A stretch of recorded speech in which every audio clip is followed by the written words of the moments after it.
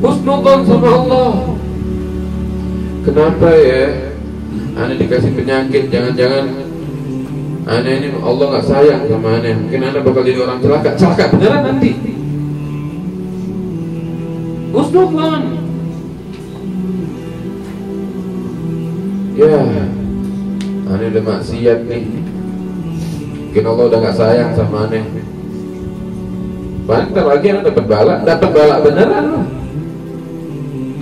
Ya, Jangan begitu. Jadi gimana pas ente lagi maksiat, ente udah sadar kalau ente diterima itu alhamdulillah. Terus bagaimana ente langsung husnudzon di situ? Ya Allah, alhamdulillah diberi sadar. Ya Allah, terima kasih ya Allah dan nyadarin anak kalau ada berbuat maksiat, anak kembali tobat padamu ya Allah.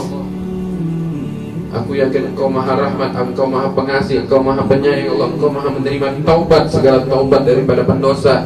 Terima taubatku ya Allah. Engkau tidak akan membiarkan aku ini taubat. Husnudzon minta terus sama Allah. Ya Allah aku berdoa sekarang ini. Aku tahu ya Rabb aku banyak dosa tapi aku yakin suatu saat engkau bakal pasti kabulkan. Husnudhan tetap husnudhan Berprasangka yang baik sama Allah. Dan itu baik buat kamu. Tapi kalau kamu berprasangka buruk Nabe Anda udah ngelamar sini ngelamar situ ditolak mulu. Mungkin anda jomblo abadi. Jomblo abadi?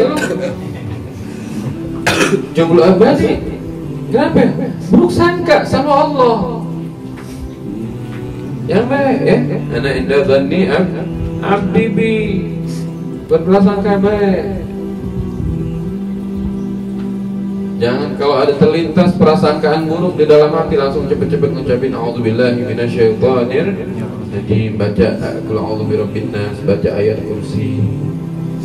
Itu baru kepada Allah Subhanahu wa taala